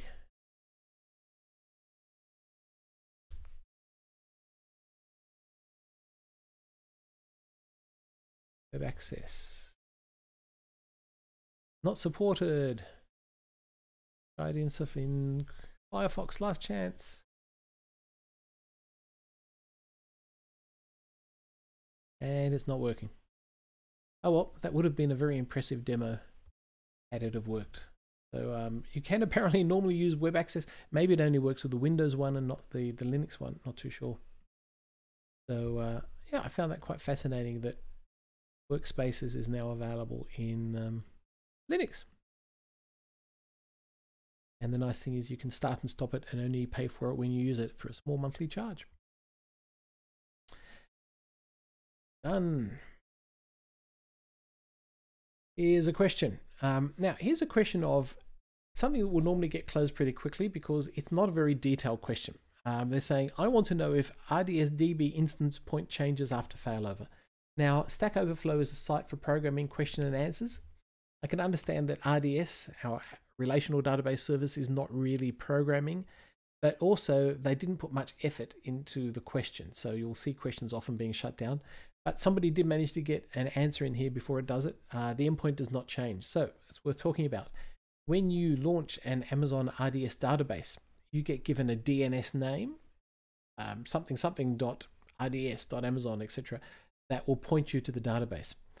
And if you are running a multi availability zone, a multi AZ RDS database, you actually have two instances. You have a master instance and a secondary instance. And in this day and age, I'm trying not to use the word master. What's primary and secondary? Let's use those words. A primary instance and a secondary instance. If anything goes wrong with the primary instance, um, the endpoint will automatically be pointed to the secondary instance. The secondary instance boots up, gets going again. Your data has already been copied across and you can use it. So the simple answer to this one is, is that uh, the endpoint doesn't change and that's the whole idea. The application should not worry about what's happened to the database. It just connects to a database endpoint and gets going quite nicely. So thank you, Shihaya, for answering that question. Uh, what else is fun here? Oh, this was interesting. Is there a way to list all services historically used on AWS, excluding CloudTrail? So CloudTrail is an audit trail service that every API call you make is uh, recorded and you can see what's happening. If you've never played with CloudTrail, it's it's quite wonderful. Uh, it's a way of seeing every API call that has been made to your service. And when you use the console, it also gets recorded in CloudTrail. So here, for example, we can see what I've done recently. Uh, apparently I created a bucket, so I can click on that event and it tells me um, who made that request. So it's an AK, so I can see that's a normal set of access credentials, not temporary credentials. Uh, it was done in the Sydney region and it was done on my stack move bucket. So this was the command we did a while ago to create the stack move bucket. And I get a whole lot of interesting information. I can see that it was my user on my Mac that did it because I labeled that as a Mac CLI. That was the access key that was used. Here's the time it was done. Um, oh, it was done through a web browser in Boto. Um, and I can see the bucket name that was done and where the request was run. So really, really good for getting information about every API call that was made to your account. Let's try and find another one. Uh, I started an EC2 instance at some stage. So it's coming through and saying, uh, the console. From the console, I launched an instance, and the instance ended with 1 1. If we have a look at my EC2 console, I have an instance ending with 1 1. It was my Windows instance that I was doing when I wanted to demonstrate uh, how to use passwords with it. Listen there. So, um, CloudTrail, fantastic, good way of seeing exactly what's gone on, and especially for requests that do not work. So if somebody tries to make a request and um, they've they fail, can be recorded in CloudTrail, and you can have an alarm that says, "Oh, too many failed attempts seem to be happening in CloudTrail. Uh, something funny is going on." So, uh, sorry, I just saw your question, Elite. Is a secondary a replica? Yeah, so when you use multi-AZ on RDS, ADS, RDS, multi-AZ, see if there's a nice picture here. Yeah, yeah, something like that. So you, um, when you spin up a multi-AZ RDS database, it spins up a master or a primary instance, which runs everything. It also spins up a secondary instance, and the secondary instance is not running as the database. It's sort of turned off but ready to run. And at a lower level, the data is copied from the primary instance to the secondary instance. So all of the data is being copied at the storage layer. And that means if anything goes wrong with the primary instance, uh, we automatically turn on the secondary instance. It's already got the data, so it just takes a minute or two to turn on, and then you reconnect to the database for the same DNS name, and you just keep using it exactly as it was there before. So it's a second copy of the database in a different availability zone, but behind the scenes, we are replicating the data across for you. So what do they say when you have data backups? You've got the RTO and the RPO. RTO, RPO or something. Uh, the recovery time objective and the recovery point objective. So the recovery time says how long it takes for you to recover from a failure. In this case, it's a couple of minutes to get the database up and going. And the recovery point objective says how much data you'll lose. So by using multi-AZ, you actually do not lose any data. So it's um, no data lost. So it's a zero, it's an immediate recovery point objective and a few minutes to get your time. Where were we? We were playing with uh, this thing. Uh, I'd like to find a way to list all AWS services used on an account. Uh, thanks. Um, and uh, having thousands of accounts. Wow. I can't use CloudTrail. That's silly. Config only provides data on infrastructure like EC2. Let's have a look at that. Config. So two services, CloudTrail and Config. CloudTrail stores every API call that was made. Please start my instance. Please stop my instance. CloudTrail will record that. Um, config, I should have it up and going here. Uh, here's my config. Why is it not running? Good, I do have it. Okay, so config is recording my configuration. So if you're used to ITIL and configuration management databases, that's what config is. It records that at this point in time, so here I have my Windows instance. It has that same ID we were looking at before. And I can come in here and it says, oh, it's a T2 medium instance. It's got this IP address, etc. But the really, really neat thing is I can call up a configuration timeline and it shows me historically what my instance was doing. So here we are. Uh, I am currently in the 10th of September in Sydney. You might be in the past, you might be in the future. And I can see that 1127, which is about an hour ago, an event took place.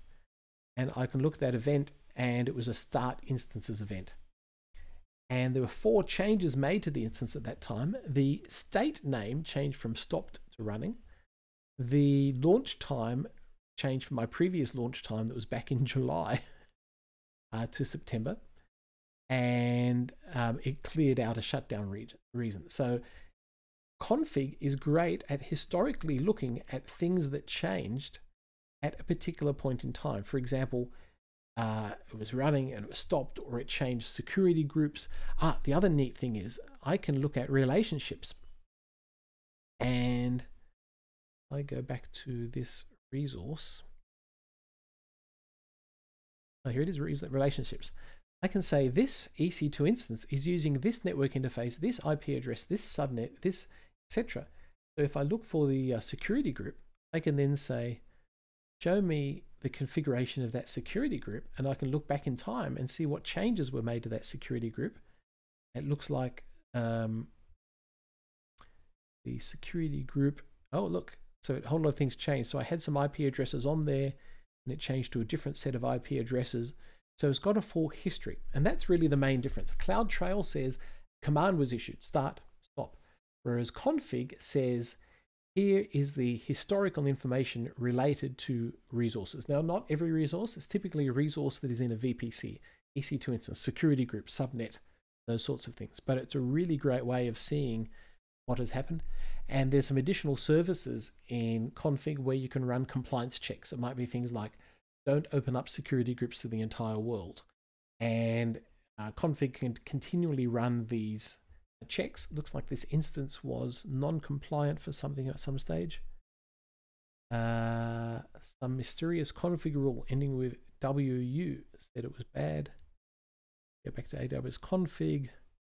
Look at my rules. Um, I don't have any running here though. I have rules here. Can't see any. Oh well, for some reason, it highlighted that machine as not being satisfying some rules. So, uh, they don't want to use CloudTrail. Is there an API to, or preferably an aggregator of some sort? I'd be interested in a simple output like account service when first consumed. Uh, this reminds me a little bit of IAM. Uh, IAM has Uh, you can say for each user, when did they last access things? Um, so I can see for my roles, which role did they access and how long ago did they do that? So that's really good. You can see roles that aren't being used uh, or users that aren't being used for a long time and turn them off. I think Netflix, uh, I am security. Netflix created a program, might be this one, uh, which looks at permissions assigned to people over time removes permissions granting access to unused services from inline policies in IAM roles of AWS. It's called RepoKid. So what they do is you give a certain amount of permission to users, but you're never sure how much permission you should give it. And uh, this program will look historically and see what permissions people are using. And if they're not using permissions, it will remove them because sometimes something will accidentally happen because people have permissions to do something they really shouldn't have permissions to do. And RepoKid does it. So they've automated the reduction of security permissions. We always say you should assign uh, least permissions to people, and that's a nice automated way of doing it. Those of you who just joined me, hi, my name's John. I'm answering Stack Overflow questions about AWS.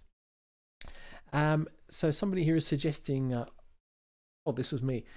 if you're part of an AWS organization, you could use consolidated billing. So AWS organizations gives you the ability to join together multiple accounts in AWS for security and billing purposes. So they might be able to just use a roll up billing amount and use the bill to figure out which services are being used. Uh, somebody here, McFinnigan, is also saying, Have you looked at your AWS bill? That could be a good way of doing it. However, I need to access information on a weekly basis for thousands of accounts. Not all of them have Cost Explorer enabled. Billing and usage, perhaps, can you not do an aggregator call? So Hence, I asked my question about are they part of AWS organizations? But I also often like ask, adding a question like this one why do you want to do this?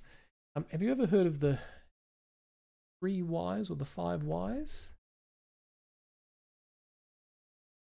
Uh, there is a standard technique uh, called the five whys, an iterative, iterative interrogative technique to explore the cause and effect relationship underlying a particular problem. Uh, for example, um, the vehicle won't start. Why? The battery's dead. Why? Alternator's not working. Why? The alternator belt that charges the battery is broken. Why? It was beyond its serviceable life. Why? Uh, wasn't maintained well. So the immediate problem is the battery's not working. The real problem is you haven't been maintaining your car. And um, a lot of the Japanese manufacturing firms use uh, Six Sigma and the five whys to get to the root cause analysis of why things are going wrong. So I often like to ask people, why do you want to do this particular thing? So rather than helping them solve this little thing, I like to help them solve the bigger question that they're really trying to achieve. Um, so it might be, I'm having trouble passing this parameter to a command. Well, why are you running that command? You should use this other command. It's often a good way of solving things. Refresh this list. Okay. Um, Make it impossible to download audio files. How do I prevent users from downloading audio files from my web app by accessing the S3 URL? I want to make it impossible to download audio files. Any suggestions? Now, Brad, that you, Brad? Who's Brad's on this call? Might be a different Brad. Says, I assume you may want to make it impossible to download files, but allow streaming. You can't. If it can be played, it can be downloaded, uh, which is very true. If something is public, it's not you, Brad's. Okay. Uh, if something is public on S3, if someone can access it, they can grab it. Um, streaming, sometimes there's some streaming protocols that make it a bit harder, but there's often some utilities that can still download streaming information. So that's it. And I very much agree with what he says here, using pre-signed URLs. So I'm going to do something here, which is editing somebody else's answer. Now, a lot of people frown on this because they think, how dare you change somebody else's answer? But I'm going to improve their answer. So I have enough permissions to come in here and I'm going to put a link in here from uh, signing your URLs. I have a little shortcut that I use whenever I reference Amazon S3 pre-signed URLs. So what I've done in here is I've added a link in their answer that will take them to the documentation to explain it. So uh, hopefully Brad won't mind that I have edited his answer and made it slightly a bit better. And a way of saying terribly sorry for that, I will upvote Brad's answer. look at this. He has the same reputation as me. I have 139,950. He has 139,286. Oh no, I've, I've got less. He's got a little bit more, and I just upvoted him. Don't mind. He's doing a good job out there. Um, have a look. Audio Pump. He does audio stuff, which means he's a very good person to answer a question about streaming audio software. That's fantastic. Big answer of PHP, JavaScript, etc. in Illinois. That is a very attractive corn hat there. Okay. Um, here's another question I thought important enough to mark and go through. It's from a few days ago. Why did I mark this one? Uh, AWS Lambda, create folder in S3 bucket. I have a Lambda that runs when files are uploaded to S3 and moves those files to another S3. Okay, so looks like people upload, something gets created in a S3 bucket A and the Lambda function moves it to S3 bucket B for some reason. The challenge, I need to create a folder inside the B bucket with a corresponding date ah, of uploaded files move the files to the folder. Any ideas are greatly appreciated. Sounds like coding time. What has somebody else said here? Chris Williams, who's a great AWS answer. Um, there's no such thing as a folder. You might want to do blah, blah, blah. Um, but nobody has given them some code. So let's see if we can do this challenge. They want a Lambda function that moves from one bucket to another bucket inside a folder with the time that the date was uploaded. I did ask a question here a couple of days ago. Um, do you want to use a time from the file name from inside the file or the current time? And also be careful of time zones. So um, my time zone, you know, it's currently uh, Thursday for me. It might not be Thursday for you. So the date is always going to be a bit of a problem there. And it looks like the question asker has said they've tried to do a bit of Python here. It's hard to read. And they're trying to use Python to create the name on the directory. Give me a hint as to how I can pass the date to the path. Uh, let's just try and do it, shall we? Let's rev up our Lambda and create. This is going to be called stack date move. Like Python. We'll give it some permissions to use. Okay, so we are going to be using a S3 theme. So I've just gone in the test options for S3 and this is showing me the typical data that is passed to a Lambda function if it is triggered by an S3 event. And we can see that it is passed the bucket name and it is passed the object key uh, Elite Pilot says essentially looks like a problem of trying to pass a variable as part of the key when uploading an object in the SDK. Yeah, so they probably haven't figured out that you just put it in the path of the key that you should put it in. So let's try it ourselves. We want to extract the bucket and the object. Uh, S3, I will create a test case there. Um, now, it is never good to write code from scratch. So I'm going to pop into another function that I have. And I have a bit of code here. Yay! This is going to uh, import urllib. Remember that. So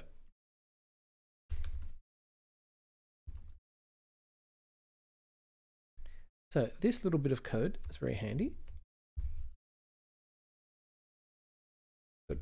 Uh, it will extract the bucket and the key from that event that is past their import date time. Okay. Import date time, import date. I'll leave you there, Prajolpa. So we now have the bucket and the key of the incoming thing. Let's go back and look at the question they're asking here. They're receiving in bucket A and they want to move it to bucket B. So let's get our buckets. Stack move A.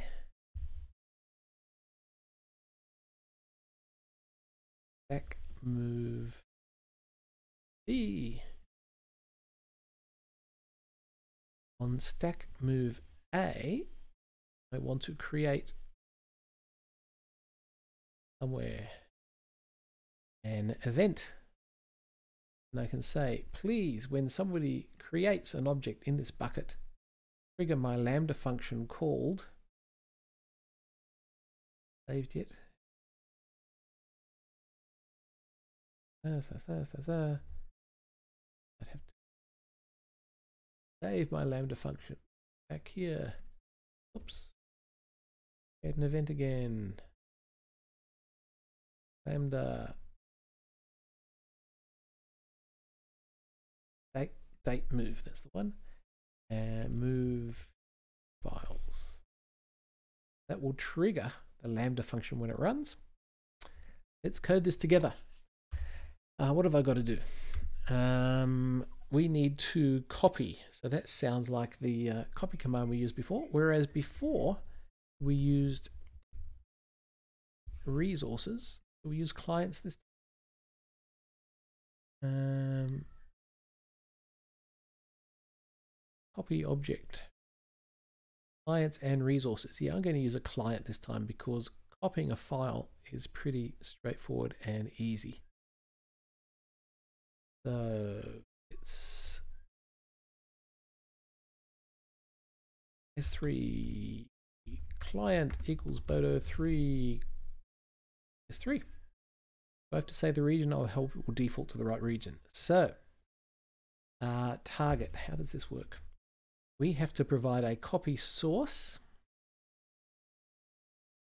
which can be a string. And when we copy it, we tell it what bucket we want to copy it to and what key we want to copy it to. So this could be straightforward. Let's see. We want to say S3 client copy object. Sorry for bouncing back and forth. Copy object. The bucket is the destination bucket.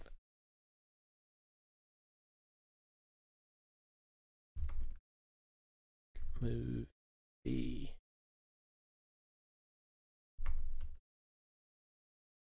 Bucket. The key that we want to move it to is, oh, I don't know that yet, so we'll just mark it as dest key. The source, that has to be lowercase. The copy source is going to be, this is going to be a hard bit. Copy source equals, now this has got to be the name of the bucket. Let's do an F string. I love F strings in Python as long as you're using Python 3.6 onwards. This is going to be the bucket followed by a slash followed by the key. Why is the F is Miller head of AI business Amazon Pocky Pocky? I have no idea. Uh, copy source. So we are copying from that bucket from that key to this bucket, that key. And we want to do something with a date.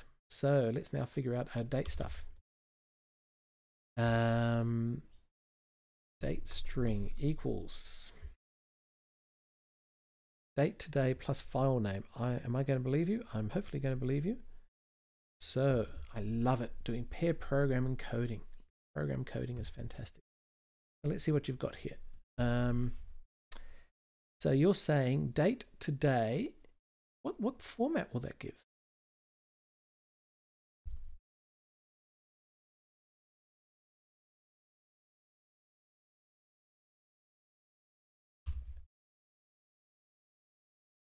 from date time import date date today. That will give a, a stringy, but the question is, what happens when it converts to a string? Oh, ho, ho.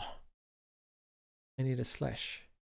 Oh yeah, I'll put the slash in there. Um, so that is pretty good. When it converts it to a string, it gives me ISO format output, which looks really good. Ah, hold it looks like that'll meet their needs. I like that. Thanks for that, uh, Prajalpa. So um, that'll give that format slash and then the key of the original object. Quotes on the slash, yep. Um, we give this a go. What I can do is, ah, let's try it and see. S3, we go into the bucket where the function has been attached. We upload file, my demo files. Here is a cat picture. Upload that file. I'm presuming nothing will happen. Let's go to our bucket B by changing the URL. And nothing is there. That's what I expect. So we then go and debug. Debugging is your friend.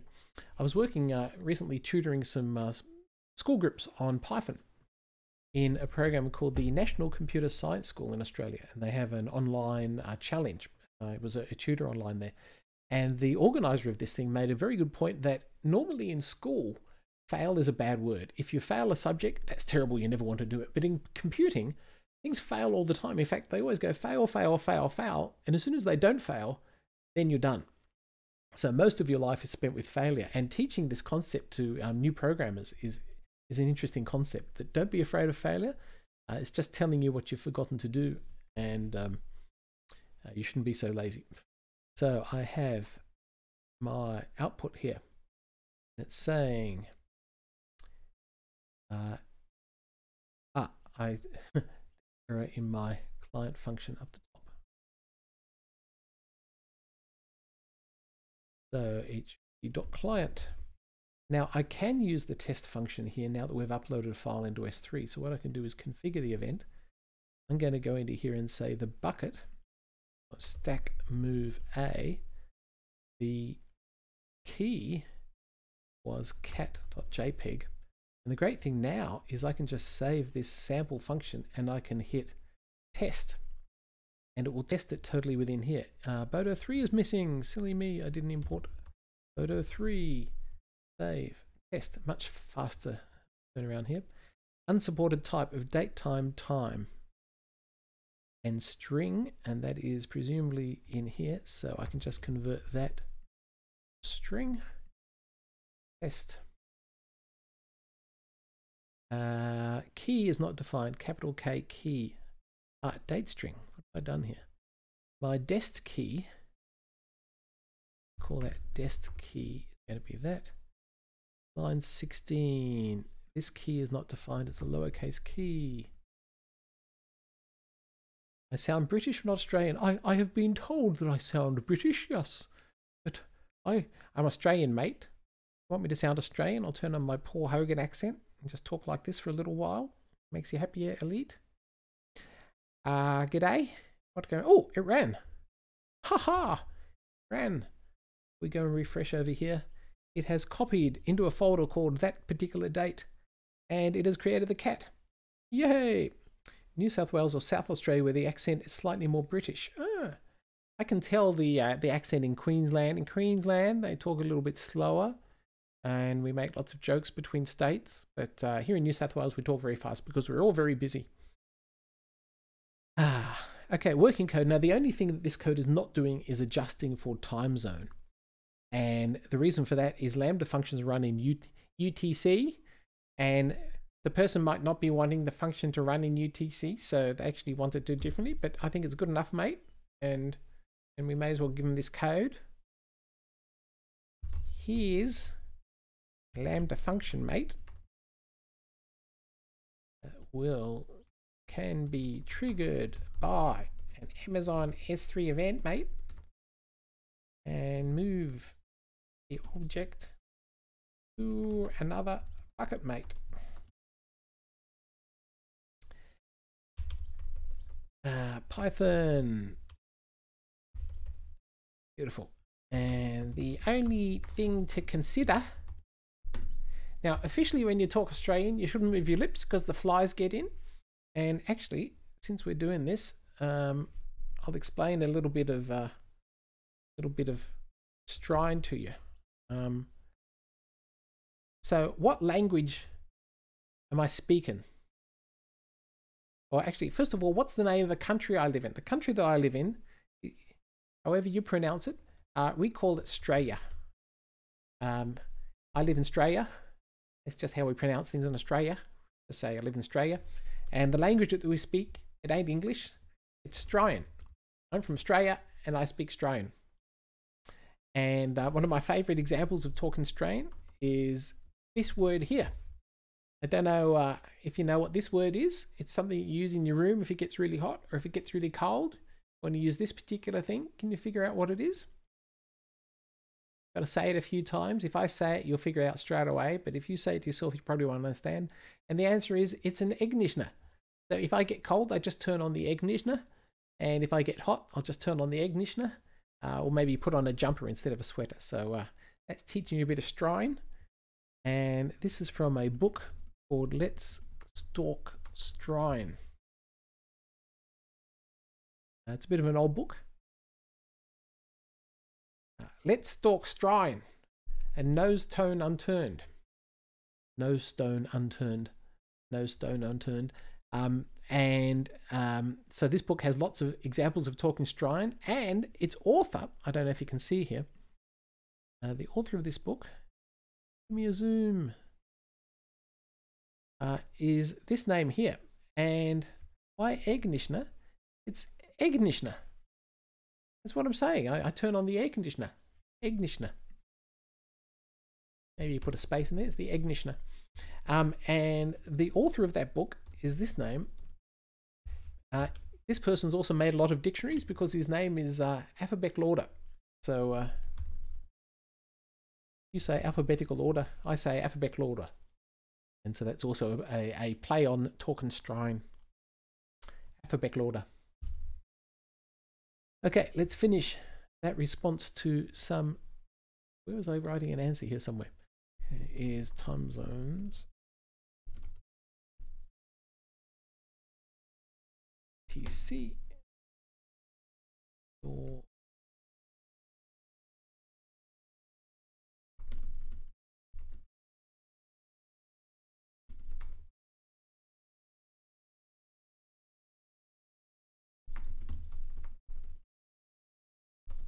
Fantastic.